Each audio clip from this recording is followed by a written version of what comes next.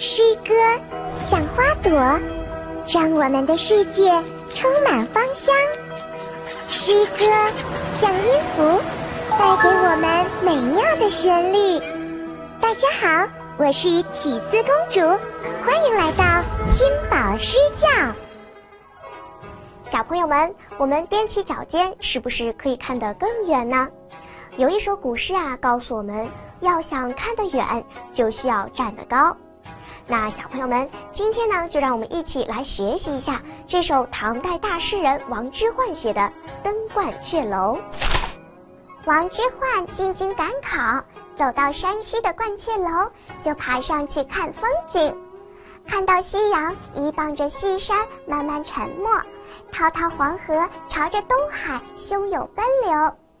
站在楼上的王之涣感觉眼前的视线非常开阔，于是他就写下了这首《登鹳雀楼》：白日依山尽，黄河入海流。欲穷千里目，更上一层楼。小朋友们，接下来跟着起司公主唱起来吧。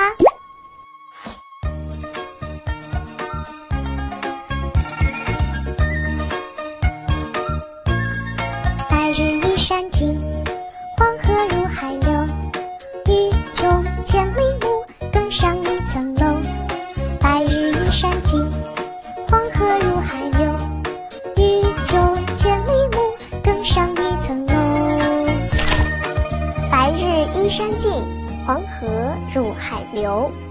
白日呢，就是指太阳。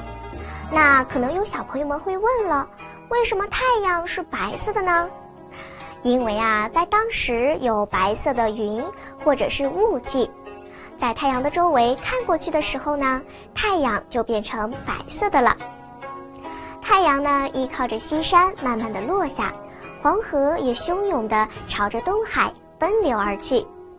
诗人为什么能够看到这么多呢？欲穷千里目，更上一层楼。诗人啊，在这里就是想告诉我们。想要看到更多的风景，那就要登上更高的一层楼。小朋友们，你们学会这首诗了吗？那接下来呢，就让我们一起朗诵诗歌吧。小朋友们，在朗诵诗歌之前呢，我们要做到朗诵三步。第一步呢，就是立正站好，双手放在身后；第二步呢，是目光直视前方，保持自然，还要集中注意力。那第三步啊，就是非常重要的一步啦。在朗诵诗歌的时候呢，要放开声音，语言呢要有力量，把我们的感情啊都迸发出来吧。《登鹳雀楼》，唐·王之涣。白日依山尽，黄河入海流。欲穷千里目，更上一层楼。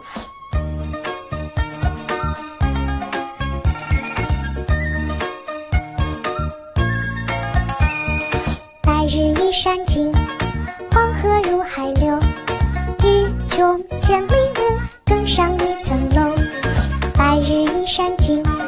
黄河入海流。欲穷千里目，更上一层楼。小朋友们，这首《登鹳雀楼》你们学会了吗？记得呀，如果想要看得远，就需要站得高；如果想要记牢这首诗，那就要多多练习。好了，那我们就下期再见吧。